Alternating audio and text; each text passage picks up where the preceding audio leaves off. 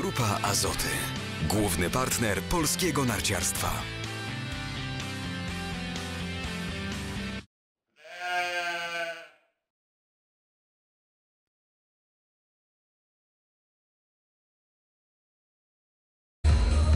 Dawid, e, chyba nie do końca jesteś zadowolony z tych kwalifikacji, mimo że kwalifikacja jest. E, no cóż, nie jestem zadowolony. E, próbowałem troszeczkę e, poprawić technikę. No niestety wyszło to bardzo mocno późno na, na progu.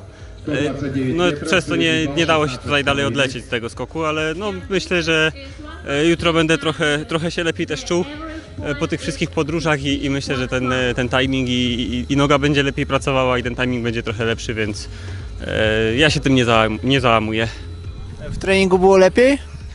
E, to znaczy, no nie, nie do końca, no były te skoki może troszkę lepsze, e, ale no tutaj dąży się do tego, żeby jeszcze, jeszcze poprawiać. E, Teraz się starałem to poprawić, no niestety nie wyszło. E, Błędy się czasem też, też zdarzają. Wspomniałeś, że, że tutaj będziesz się lepiej czuł, czy to znaczy, że trochę daje ci się we, we znaki ta zmiana czasu? No troszkę tak, jednak tej podróży było dość sporo i do tego jeszcze dochodzi ta zmiana czasu. Trochę też mamy to jedzenie tutaj takie, takie se. E, No i to wszystko gdzieś tam się też, e, też nakłada na siebie, ale myślę, że no, e, jak się na jutro już tak całkiem fajnie wyśpię, to, to będzie ok. Ogólnie jesteś, podoba ci się tutaj w Kazachstanie, w tym mieście i podobają ci się ludzie, atmosfera? No na pewno jest to coś zupełnie innego niż u nas w Europie i, i tak jest takie, jest takie wrażenie całkiem, całkiem inne.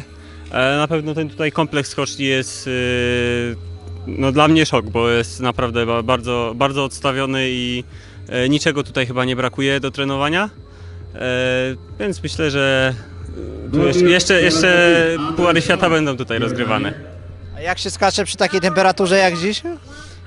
Normalnie, no tutaj jakby najważniejsze jest to, żeby, żeby tory wytrzymywały i, i śnieg na spadzie. No teraz już zaczynało to tam troszeczkę płynąć, ale no przy takiej temperaturze to ciężko się dziwić. No to dzięki to, i powodzenia jutro. Dzięki.